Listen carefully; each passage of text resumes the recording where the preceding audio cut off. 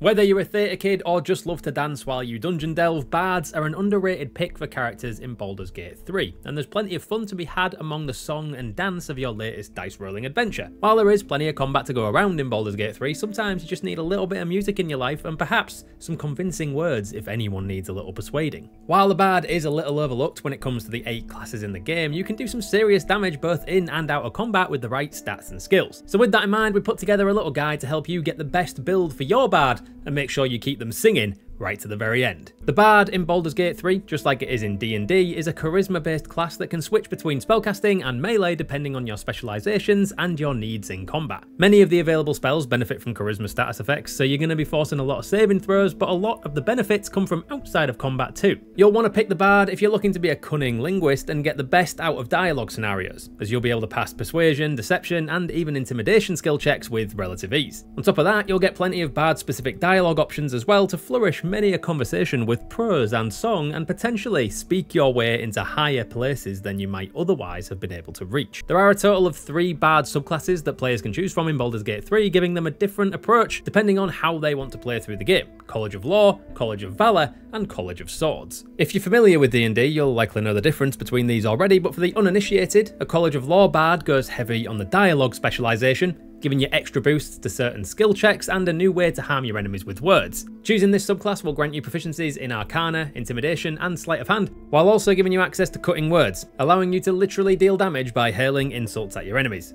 Sticks and stones may break their bones, but a pointed comment about their appearance will scar them forever. College of Valor is for those who dreamed of being on the stage, using music to inspire your allies and support them in fights. You'll gain access to the Combat Inspiration feature, which allows you to inspire an ally to add plus 1d6 bonus to their next attack roll, ability check, or saving throw. And finally, the College of Swords is perfect if you want to make your bard an adept fighter, as well as decent at the chat giving you a number of different combat skills to enhance your effectiveness in hostile encounters, and while you're limited to how many times you can use them, the versatility they give your character in a fight is very useful indeed. There's Slashing Flourish, which allows you to attack up to two enemies at once, Defensive Flourish, which increases your armor class by 4 if you hit during an attack, Mobile Flourish, where you thrust your weapon with enough force to push your target back, and afterwards you can even teleport to the target, and there's even ranged options for all those as well. If it didn't seem obvious right away, our pick for the best bard subclass in Baldur's Gate 3 is definitely the College of Swords. It gives you the greatest amount of flexibility when it comes to your wider adventure, and while you can, of course, skip many hostile encounters through clever dialogue, many fights are inevitable, and having the skills to succeed within them is important to have.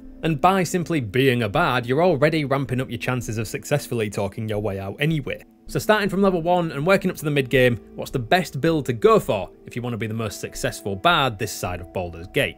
At level 1, kick things off by making yourself a wood or high half elf. Take the entertainer background for all the extra clout you might need, and give yourself the lyre as your instrument. Take proficiency in persuasion and performance, and through your other choices you'll already be proficient in insight, deception and intimidation, making you a charisma machine and massively ramping up the chance of you sweet talking or threatening your way to success. For your ability points, take an 8 in strength, you don't need to be strong when you can sing. Take a plus 2 boost to your dexterity and leave it on 16. Give yourself a 13 in con so those concentration spells hold a little easier. A 12 for intelligence, 10 for wisdom, and smack your plus 1 bonus onto your charisma for 16. Even numbers are almost always better to be on since that's when your skills scale, and a plus 3 to dex and charisma checks is nothing to be sniffed at for a level 1. Take minor illusion and vicious mockery as your cantrips for damage and utility, and grab Sleep, Dissonant Whispers, Tasha's Hideous Laughter, and Speak with Animals to round off your spells.